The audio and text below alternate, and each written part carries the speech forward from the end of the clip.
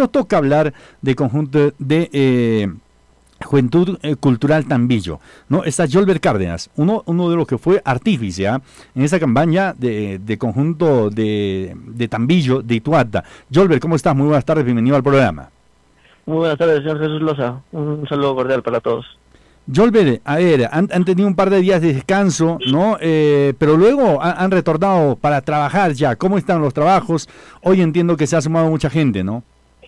Sí, profesor Jesús, este, justamente ya hemos retomado de nuevo, estamos trabajando a doble horario, estamos eh, haciendo como una mini pretemporada que creo que nos está sirviendo a todos, nos está costando, pero yo, sé que nos va nos va a servir y vamos por, por buen camino, ¿no?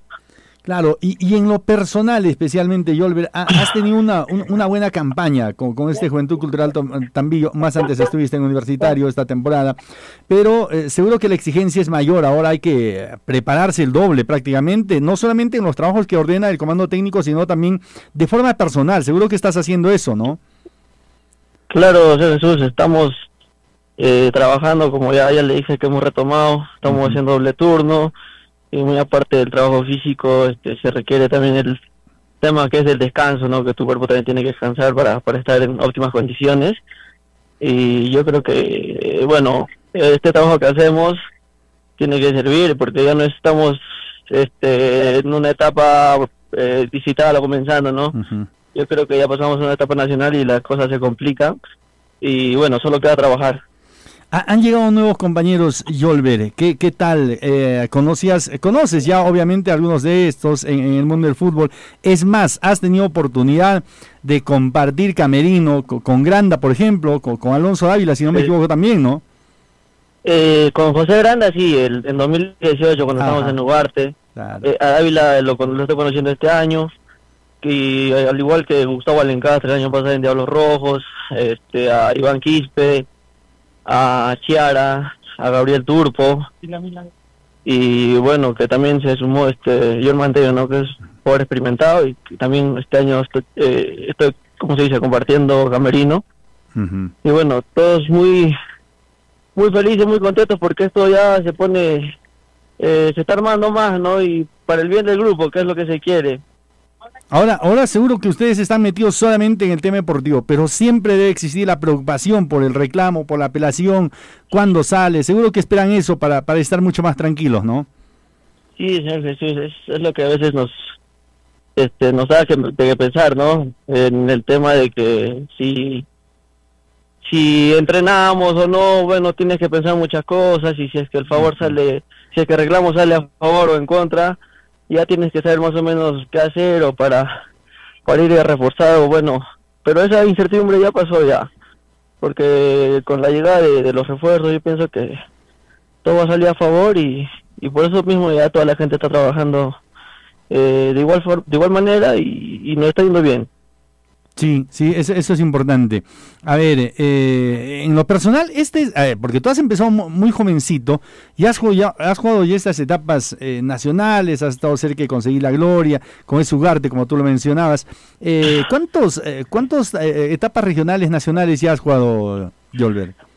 En 2018, cuando estaba en Ugarte, fue la primera, ¿no? Y de ahí, este, el 2000 19 por temas de, estudio no pude jugar, a pesar de que el lugar me proponía, ¿no? Para que esté en el equipo y por temas de la universidad no pude estar al 100. El 2020-21 ya empezó la, pandemia y volví con Krakow, ¿no? Que era un partido este definitorio nomás con Ugarte, el cual Ugarte sale victorioso y ellos se van a la nacional ese año. Y bueno, el, el, año el año pasado con Diablos Rojos eh, es mi segunda nacional, ¿no? Claro. Este, este, año, este año, espero que sí también. Claro, y, la tercera. Y, al ver a este grupo, volver a, ver a, jugadores con los que has compartido, seguro que uno siente la emoción, ustedes, los más jóvenes, digo especialmente, en sentir la emoción de que se pueden conseguir los objetivos que se están trazando, ¿no? Sí, es muy emocionante. Yo, bueno, volver a verlo a, a José Granda, que que como le dije, el 2018 yo estaba compartiendo con Merinos, me, me emociono, ¿no? Me los saludo y bueno, recordamos viejo tiempo, como antes me decían, insectito, era un esto, no una chapa que me ponían, pero ya, ya he crecido, me dice, ya, ya pues no moleste, tío, ya, deja de decirme así, también no moleste. pero ya sí, este, emociona y también, este, el detalle de que tú aprendes mucho de ellos eh, en cancha, en todas las formas, en todos los aspectos, eh, se va aprendiendo cosas ya que ellos son los jugadores más experimentados y, bueno, uno siempre está para aprender, ¿no? Claro, claro, eso, es lo más importante. La, directiva me imagino que les está dando las condiciones necesarias, el escenario deportivo, todo lo necesario para que puedan trabajar, ¿no? Con tranquilidad. Sí, hasta ahorita todo está tranquilo, todo está correcto, este, estamos entrenando con normalidad. Como le repito, estamos a doble turno, más tarde también tenemos de entreno. Y yo creo que con, hay que ir con todo, con todas las ganas. Y ya bueno que no nos saque que no nos saque de este de, la mentalidad no el tema este de reclamo que si se pase afuera en cuanto nosotros tenemos que pensar en trabajar en esforzarnos y, y en dar lo mejor de uno a, mí mucha gente me preguntaba en la tribuna, en, en Macusani especialmente, cuando fuimos ese partido eh, cultural eh, Tambillo con, Diablos Rojos, ¿cómo se sentirá el jovencito Yolber Cárdenas? Y la gente me preguntaba, ¿cómo te sentías tú en la cancha enfrentar a tu, a tu papá en, el banco de suplentes del equipo contrario?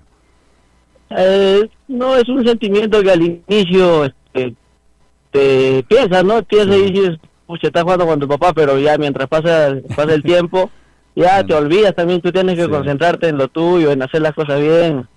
Y bueno, si se da hacerle un gol o, si, si, le toca ganarme de, local, bueno, es parte del fútbol, uno nunca es invencible. Y bueno, me tocó hacer hacerle el gol y bueno, pues como cualquier DT en su en el momento, con la euforia, con todo el la rebe, ya tranquilo, nomás no no le quise molestar también a mi señor padre, pero después todo bien, todo todo en familia.